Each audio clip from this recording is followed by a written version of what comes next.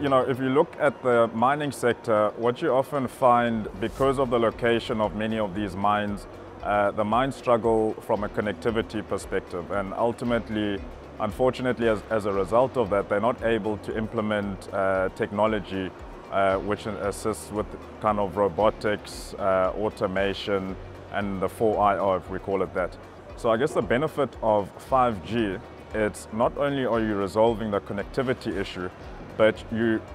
kind of in installing a connectivity which you know has low latency, uh, high speed, congestion's not an issue, and it really does enable the mine to transition the way in which it operates.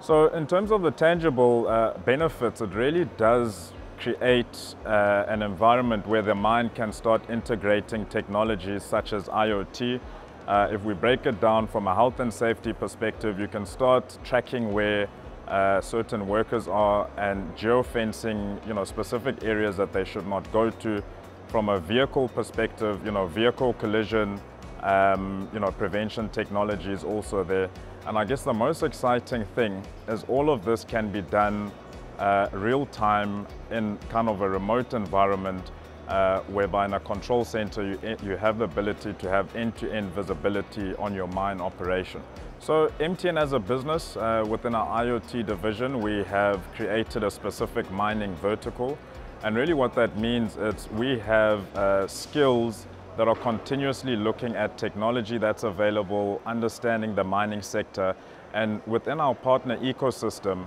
engaging with the mining sector to ensure that you know, the 5G enabled technology um, really does transition uh, the mine's operation. So, you know, if we look at health and safety, if we look at uh, uh, vehicle collision prevention, uh, automating the mine, etc., it really does enable